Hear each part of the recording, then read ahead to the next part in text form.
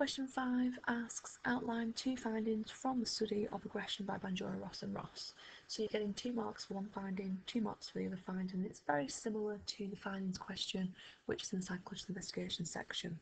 So it wants an actual result from the study and it has to be in context.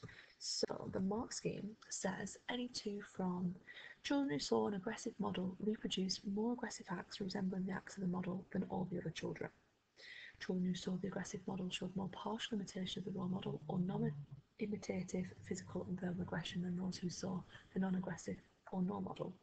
Children who saw the non-aggressive model showed low levels of aggression, though they were not significantly lower than the group that had no role model.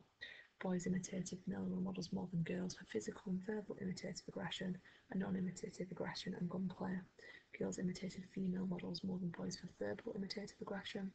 Boys were generally more aggressive than girls, except when they saw an aggressive female model, and boys are more aggressive than girls.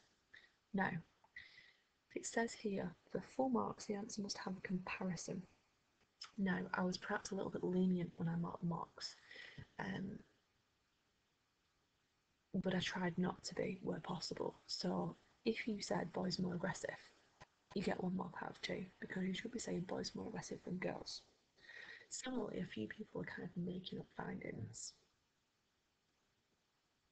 So they kind of remembered what it should be, but not quite clear enough. So I gave you one mark out of two because it counts as a partial or vague answer. So here it says children more likely to imitate the same sex model, boys more aggressive.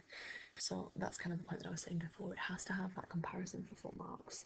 Um, so as you can see on all of these, it says um, than all the other children. That's the comparison. Um, than those who saw non-aggressive thoughts. So again, there's comparison on all of them. So there should be a comparison on your answer. If there isn't, then technically it should be one mark out of two.